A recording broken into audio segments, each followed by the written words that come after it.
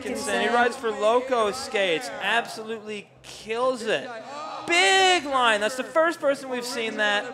Oh, wow. Almost off the edge. This is great. This is the way you want to start off this line. Back royale from the quarter to the bank huge. No one's even thought of any of this yet. Very creative rider right here. Big flat three.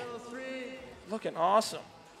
Joe rides for Loco Skates, and he also is currently riding his new Go Project wheel. They're 64 millimeter wheels, and they're going to be in, store, in stores soon. They're an awesome compound. You can see how fast he's going and how he's killing it on that little spine with the Fakie 7. From the Garlic Club, straight out of Yorkshire Pudding.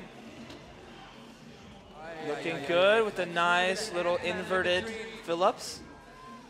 Big air. He big straight airs. He doesn't need any speed to boost.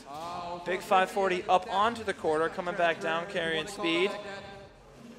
Nice. Those Go Project wheels, 65 millimeters. Just he is killing it around the course with a 540. Killing it. 540 truck driver. Yeah, there we go. Big flat five. Nice and stylish.